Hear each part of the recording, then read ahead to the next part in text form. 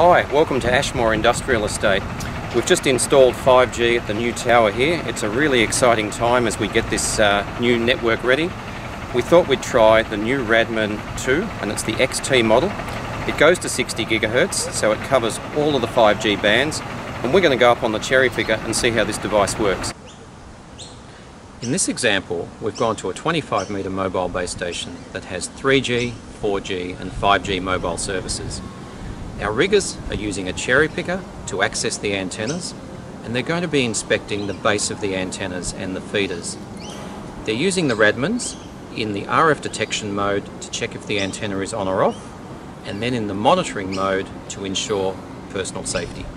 The We're going to is a tower in the middle of the central business district in Brisbane.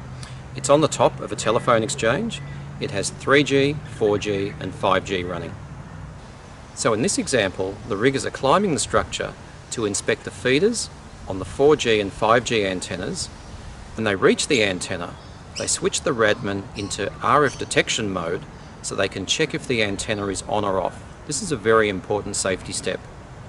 In our last example, we've gone to a building rooftop where our riggers are inspecting the antenna mounting structure.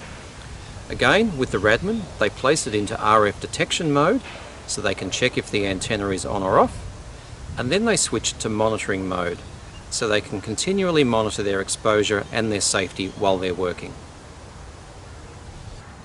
So when you've finished work, if you need to review or check any of the exposure levels during the day, they're automatically logged through a data logger and you can access this through the PC software. We hope you found this video informative and thank you for watching.